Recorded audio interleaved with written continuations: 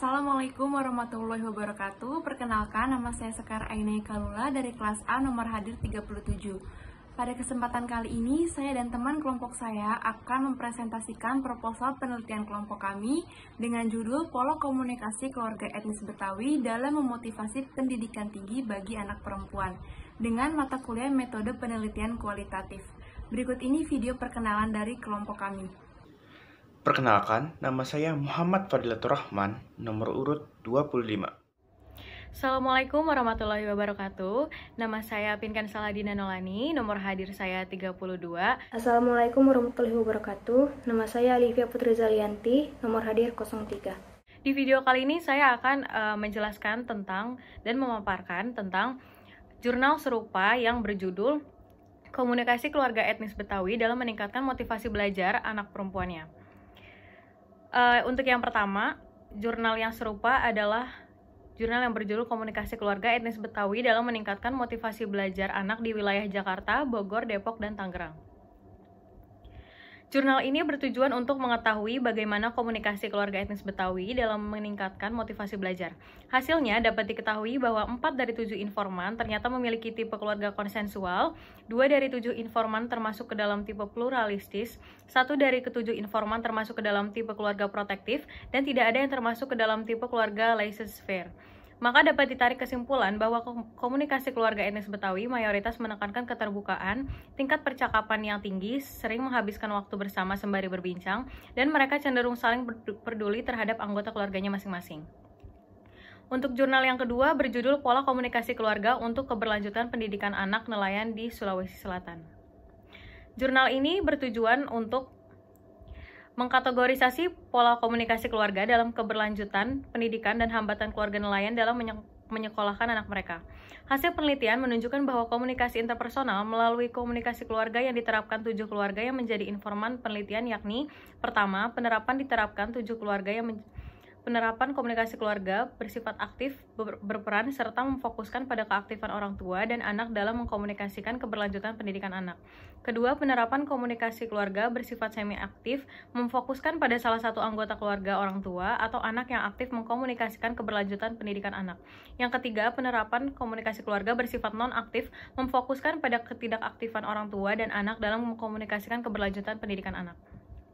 Jurnal yang ketiga berjudul Peran Komunikasi Antar Anak dan Orang Tua dalam Meningkatkan Motivasi Belajar. Studi terhadap mahasiswa Thailand di UIN STS Jambi.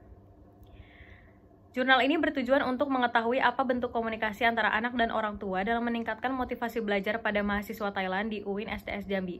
Untuk mengetahui keefektifan komunikasi antara anak dan orang tua dalam meningkatkan motivasi pada mahasiswa Thailand di UIN STS Jambi. Hasil penelitian menemukan bahwa mahasiswa atau mahasiswi luar negeri yang berada di Indonesia berkomunikasi dengan orang tua melalui media. Komunikasi yang dilakukan oleh anak dan orang tua kurang baik karena hanya komunikasi yang terjalin pun terbatas. Adapun hambatan-hambatan yang di hadapi seperti pertama hambatan fisik, hambatan waktu, dan hambatan ekonomi. Jurnal yang keempat berjudul Hubungan Efektivitas Komunikasi Antar Pribadi dalam Keluarga dengan Motivasi Belajar di Anak di Sekolah. Jurnal ini bertujuan untuk mengetahui adakah hubungan keterbukaan sikap positif, kesetaraan, empati, dan sikap mendukung dalam keluarga dengan motivasi intrinsik dan ekstrinsik anak saat belajar di sekolah. Hasil penelitian menunjukkan bahwa terdapat hubungan antara komunikasi antar pribadi dalam keluarga dengan motivasi belajar anak di sekolah. Jurnal yang kelima berjudul Peran Komunikasi Keluarga dalam Meningkatkan Motivasi Belajar Anak Usia Sekolah di Desa Bongkudai Timur, Kecamatan Moat, Kabupaten Bolaang, Monggondau Timur. Jurnal ini bertujuan untuk mengetahui bagaimana peran komunikasi keluarga dalam meningkatkan motivasi belajar anak usia sekolah di Desa Bongkudai, Timur Kecamatan Moat, Kabupaten Bo Bolaang, Monggondau Timur. Hasil penelitian menunjukkan bahwa peran komunikasi keluarga dalam meningkatkan motivasi belajar anak masih kurang. Waktu komunikasi yang terjadi dalam keluarga masih sangat singkat disebabkan iklim komunikasi yang tidak baik. Artikel pertama ada pola sosialisasi pendidikan anak pada keluarga Betawi di Kelurahan Jagakarsa. Penelitian ini bertujuan untuk memberikan gambaran secara empiris dan mendalam mengenai pola sosialisasi dan pendidikan anak yang dilakukan pada keluarga Betawi di Kelurahan Jagakarsa khususnya di RT 009 RW 07. Hasil penelitiannya menunjukkan bahwa ketiga keluarga menerapkan pola sosialisasi terhadap pendidikan yang berbeda, Keluarga Ibu Nimahwati menerapkan pola sosialisasi partisipatif dan pola pendidikan otoriter. Keluarga Bapak Ismail, Ibu Juryana menerapkan pola sosialisasi partisipatif dan pola pendidikan demokratis. Keluarga Bapak Arif Khairuddin Ibu Nani menerapkan pola sosialisasi partisipatif dan pola pendidikan otoriter demokratis. Artikel kedua berjudul Komunikasi Keluarga dalam Meningkatkan Motivasi Belajar Anak. Jurnal ini bertujuan untuk menghantar pendidikan ke arah kedewasaan yang sepadan dengan kebutuhan masyarakat. Mengingat anak bukanlah objek pendidikan, tetapi mereka membawa potensi masing-masing yang akan diarahkan di dalam pendidikan kehidupan sehingga mereka dapat berkembang sesuai dengan kemajuan zaman. Hasil penelitian menunjukkan bahwa dalam keluarga dibutuhkan sebuah komunikasi yang baik antara orang tua dan dan baik secara verbal atau nonverbal agar dapat memunculkan sebuah motivasi pada anaknya. Artikel ketiga berjudul Peran Orang Tua dalam Meningkatkan Motivasi Belajar Siswa kelas 5 di Sekolah Dasar Inpres Ilegetang.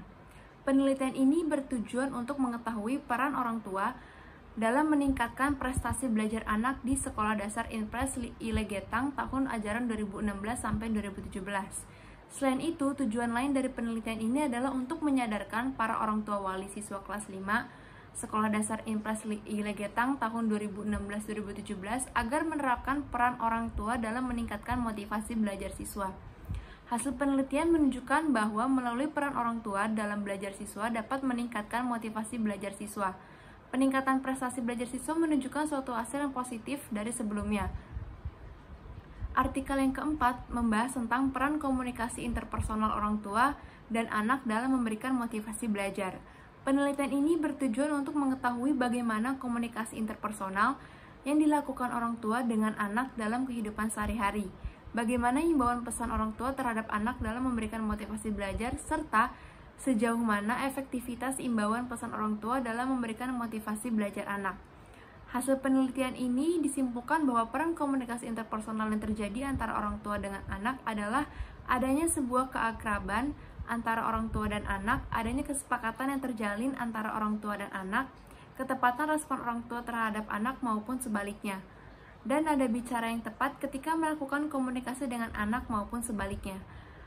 Artikel yang terakhir berjudul Peran Komunikasi Interpersonal Orang Tua dalam Membangun Motivasi Belajar Anak di Kelurahan Campang Jaya, Kecamatan Sukabumi, Bandar Lampung. Penelitian ini bertujuan untuk mengetahui peran komunikasi interpersonal orang tua dalam membangun motivasi belajar anak di Kelurahan Campang Jaya, Kecamatan Sukabumi, Bandar Lampung, dan juga untuk mengetahui faktor yang mempengaruhi peran komunikasi interpersonal orang tua dalam membangun motivasi belajar anak di Kelurahan Campang Jaya, Kecamatan Sukabumi, Bandar Lampung. Hasil hasil penelitian bahwa peran komunikasi interpersonal orang tua dalam membangun motivasi belajar anak di Kelurahan Campang Jaya, Kecamatan Sukabumi, Bandar Lampung terjadi secara langsung melalui kegiatan tatap muka, ngobrol santai dan diskusi ringan melalui melalui memberi nasihat untuk semangat belajar memberi memberi hadiah saat mendapatkan prestasi, mengajak jalan-jalan, serta mendampingi anak dalam proses belajar. Selanjutnya ada variabel. Variabel yang digunakan dalam penelitian ini terbagi menjadi dua yaitu variabel X dan variabel Y. Variabel X yang digunakan dalam penelitian ini adalah komunikasi keluarga serta variabel Y yang digunakan dalam penelitian ini adalah pendidikan. Motivasi belajar Penjelasan tentang motivasi belajar ini dijabarkan oleh salah seorang tokoh bernama Abraham Maslow dalam teorinya yang bernama teori hierarki kebutuhan. Dalam teorinya ini, Maslow berpendapat bahwa kebutuhan tersusun dalam suatu hierarki. Kebutuhan tersebut disusun dalam sebuah hierarki di mana kebutuhan fisiologis dianggap sebagai kebutuhan yang paling rendah dan kebutuhan aktualisasi diri dianggap sebagai kebutuhan tertinggi manusia. Maslow mengungkapkan ada lima kebutuhan manusia dalam teori hierarki kebutuhan. Pertama, kebutuhan fisiologis seperti sandang, pangan, papan, dan udara untuk bernapas. Kedua, kebutuhan akan terasa aman. Ketiga, kebutuhan akan terasa cinta kasih. Keempat, kebutuhan akan harga diri. Dan kelima, kebutuhan aktualisasi diri. Komunikasi antar pribadi Komunikasi antar pribadi merupakan proses pengiriman dan penerimaan pesan-pesan antara dua orang atau di antara sekelompok kecil orang-orang dengan beberapa efek dan beberapa umpan balik seketika. Fungsi komunikasi antar pribadi atau komunikasi interpersonal adalah berusaha meningkatkan hubungan antar manusia, menghindari dan mengatasi konflik konflik pribadi, mengurangi ketidakpastian akan sesuatu, serta berbagai pengetahuan dan pengalaman dengan orang lain. Komunikasi keluarga Keluarga menjadi awal dari suatu proses interaksi manusia di mana terbentuknya komunikasi antar beberapa individu. Komunikasi yang terjadi dalam sebuah keluarga tidak sama dengan komunikasi yang terjadi dalam keluarga lainnya. Setiap keluarga mempunyai pola komunikasi dan interaksi sendiri sesuai dengan tipe keluarganya masing-masing. Tipe keluarga 1. Tipe konsensual Keluarga ini suka berkomunikasi atau mengobrol bersama tetapi memegang otoritas keluarga. Orang tua tetap berperan sebagai pihak yang membuat keputusan. Kedua, ada tipe pluralistis. Keluarga yang sering berkomunikasi atau melakukan percakapan namun memiliki kepatuhan yang rendah. Anggota keluarga sering berkomunikasi terbuka tetapi membuat keputusannya masing-masing. Ketiga ada tipe protektif. Keluarga ini jarang berkomunikasi namun memiliki kepatuhan yang tinggi. Orang tua tidak melihat alasan penting mengapa mereka harus menghabiskan banyak waktu untuk mengobrol dan orang tua adalah pihak yang membuat keputusan.